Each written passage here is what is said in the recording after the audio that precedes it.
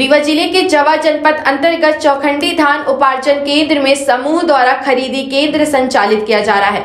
हमारी टीम वहाँ पहुंचकर धान उपार्जन केंद्र के हालात जाने और किसानों और खरीदी केंद्र के कर्मचारियों से भी बात की है। आइए आपको ले चलते हैं खरीदी केंद्र, जहाँ जानते हैं किस तरह से व्यवस्थाएँ हैं और किन अव्यवस्थाओं के बीच किसान अपनी फ़सल को बिक्री कर रहा है। नमस्कार, मैं पंकज अग्निहोत्री आज हम यहाँ उपस्थित हुए हैं।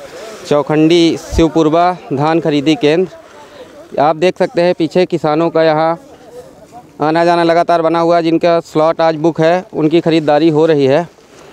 यहाँ पर कई किसान हैं जिनसे हम समझेंगे कि इस खरीदी केंद्र पे क्या सुविधाएँ मिल रही हैं और उनको किन परेशानियों का सामना करना पड़ रहा है। हमारे साथ है यहाँ इस धान खरीदी केंद्र के सुपरवाइज़र प्रकाश मिश्रा। जी। हेलो। यहाँ इस जंगली क्षेत्र में जी। धान को हर तरह की परेशानियों से बचाकर परिवहन करके वेयर हाउस तक पहुँचाने में आपको कितनी मुश्किलों का सामना करना पड़ता है? देखिए मुश्किलों का सामना तो ज़रूर हमें शुरू शुरू में करना पड़ा है। जैसे कि हमें स्टार्टिंग में परिवहन की समस्या हो रही थी लेकिन अब वर्तमान समय पे परिवहन हमारे यहाँ से पर डे चार गाड़ियाँ माल लोड होके जा रहा है वेयर हाउस तक पहुँचाई जा रही हैं। और किसानों का भी अच्छा सहयोग मिल रहा है। किसान हमारे हमारे सब समय पे आते हैं अपने धान की तोलवाई करवाते हैं। और किसान भाइयों को पूरी सुविधाएँ दी जा रही हैं जैसे कि टेंट व्यवस्था बैठने के लिए पानी पीने के लिए सुविधाएँ हैं। अगर शाम का समय हो जाता है तो ठंड से हाँ, बचने जिन के लिए जिन किसानों का रात में नहीं हो पाता उनको अगर रात में यहाँ रुकना पड़े धान के लिए तो उनके आप उनके लिए आप क्या व्यवस्था है? देखिए अगर किसानों की छः बजे के पहले अगर तौल नहीं हो पाती है तो अगर वो गाड़ी लेके आ गए हैं भाड़े पे हैं या कि दूर है अब वापस जाना उनको महँगा पड़ता है तो उनको रुकने के लिए हमने व्यवस्था कर रखी है। और ठंड से बचने के लिए रजाई गद्दे और रात में अलाव हाथ सेकने के लिए आग की भी व्यवस्था अपने यहाँ पूरी तरीके से की गई है।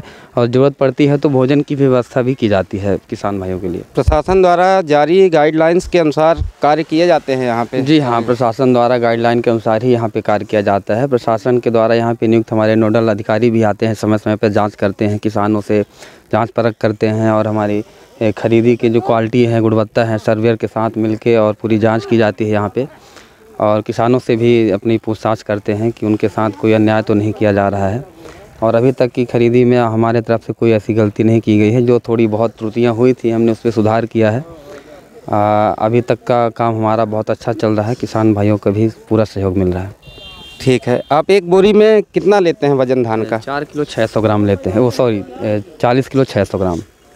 सरकार सरकार की गाइडलाइंस इसके लिए क्या है? जी हाँ सरकार की गाइडलाइन यही है चार चालीस किलो छः सौ ग्राम जिसमें कि छः सौ ग्राम बारदाने का वज़न होता है। बोरियाँ जो ये होती हैं इनका वज़न छः सौ ग्राम। पाँच सौ हाँ हाँ साढ़े पाँच सौ छः सौ ग्राम के लगभग इनका वज़न होता है और चालीस ग्राम चालीस किलो जो है तो धान का वज़न लिया जाता है। कुछ किसान भाई हैं हमारे साथ जो यहाँ अपने धान के लिए आए हुए हैं धान लेकर और धान की तोलवाई इनकी जारी है। इनसे कुछ हम सवाल पूछते हैं। इस धान खरीदी केंद्र में शासन द्वारा जारी गाइडलाइंस किसानों के लिए जो है उसका पालन किया जाता है। जी बिल्कुल एकदम पूरा। आपको कोई असुविधाएँ तो नहीं कोई असुविधाएँ नहीं है।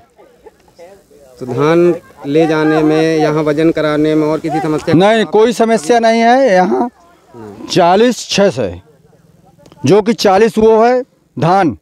और छः सौ ग्राम का बारह।